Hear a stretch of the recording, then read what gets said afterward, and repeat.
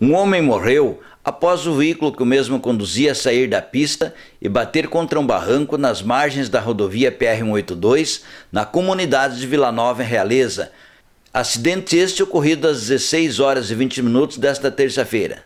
Segundo populares, motorista de um Gol, placas de descanso Santa Catarina, identificado como Francisco Padilha Oliveira, 65 anos, seguia sentido Realeza Cascavel, quando possivelmente passou mal, saiu da pista e sofreu o acidente.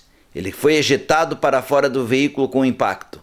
O SAMU foi acionado e os socorristas tentaram reanimar a vítima, mas ele não resistiu e morreu no local. Policiais rodoviários estaduais registraram a ocorrência e sinalizaram a pista no local.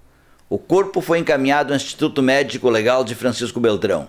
Francisco estava residindo sozinho em uma casa na comunidade de São Roque, em Realeza, há poucos dias.